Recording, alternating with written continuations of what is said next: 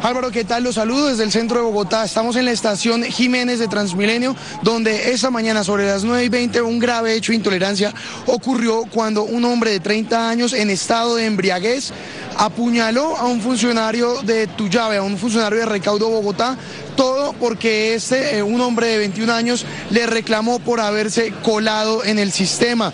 El hombre, el agresor, fue capturado de inmediato por parte de la Policía Metropolitana de Bogotá, quien lo condujo a la URI de Puente Aranda, donde a esta hora espera ser judicializado. Y este hombre, pues como dato adicional, tenía solamente cinco días fuera de la cárcel. Estaba pagando una pena actualmente por tentativa de homicidio. Además, se le habían impugnado otros tres delitos, otros dos delitos, perdón, que son porte ilegal de armas y hurto agravado. Esta persona lleva tan solo cinco días por fuera de la cárcel y pues volverá, como espera toda la sociedad, eh, luego de que haya pues apuñalado y matado a este joven de 21 años, quien fue llevado al hospital Santa Clara por también uniformados de la policía. Sin embargo, pues el esfuerzo fue nulo ya que terminó perdiendo la vida antes de llegar al centro hospitalario. En la tarde será la audiencia de este agresor.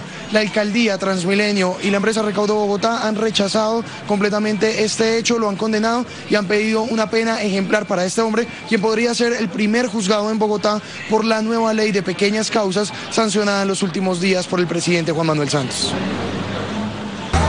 Un grave hecho de intolerancia ocurrió en la estación de Transmilenio Avenida Jiménez cuando un funcionario de Tuyave le reclamó a un hombre de 30 años por haberse colado en una de las talanqueras.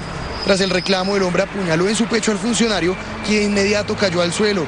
El agresor fue capturado por la policía, mientras que la víctima, identificada como Leonardo Lichi Hoyos, de 21 años, fue conducido al Hospital Santa Clara, a donde llegó ya sin signos vitales. La captura de este sujeto de 30 años, que tiene antecedentes penales ya verificados, como es el tema del porte ilegal de armas, como es el tema del hurto calificado y agravado, también el tema de tentativa de homicidio. Tanto Transmilenio como el propio alcalde Enrique Peñalosa rechazaron el hecho. Eso es de todos los días acá.